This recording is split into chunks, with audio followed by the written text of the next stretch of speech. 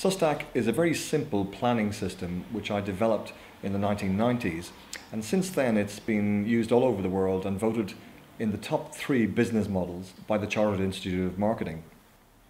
How does it work? Well, here it is. Situation analysis, where are we now? Objectives, where are we going? Strategy, how do we get there? Tactics are the details of strategy, and action are the details of tactics. And finish with control, which is measuring how we get there. Situation analysis, where are we now?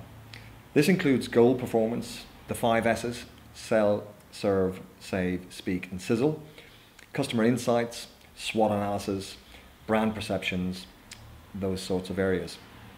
Objectives includes everything from vision and mission through to, you know, those are the longer term objectives, through to the medium and shorter term objectives like the five S's again sell, serve, save, speak, and sizzle.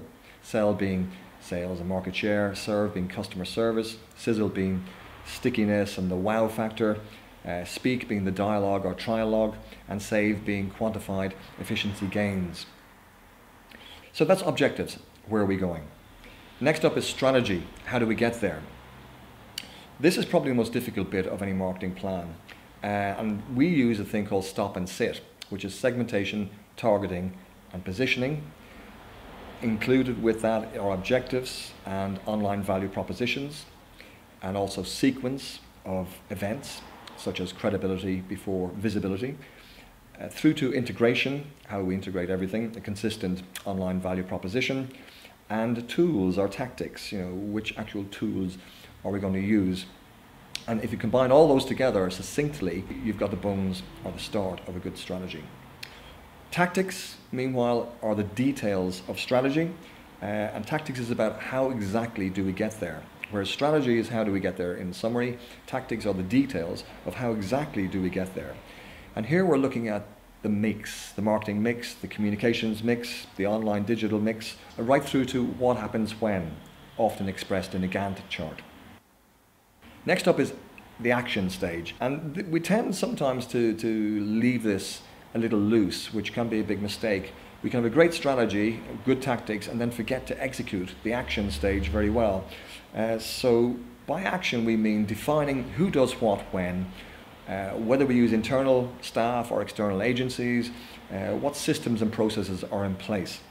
And that's all the action details. Control, the last stage of the SOSTAC plan, is about how do we know we're getting there rather than waiting until the end of the year to find out things have not worked, we prefer to have systems of control in place so that you know each quarter or each month or each week or in some cases each day what is working so that you can make changes rather quickly. So in control, we, we include the five S's. How do we measure, sell, serve, save, speak, and sizzle?